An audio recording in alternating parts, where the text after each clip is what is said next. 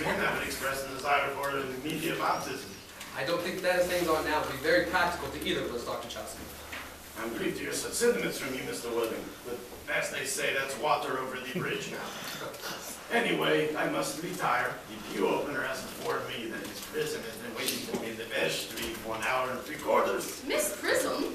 Did I hear you mention a Miss Prism? Yes, Lady Bracknell? Pray allow me to detain you for a moment. Is is this Miss Yes, Lady Bracknell. She is the most cultivated of ladies and a very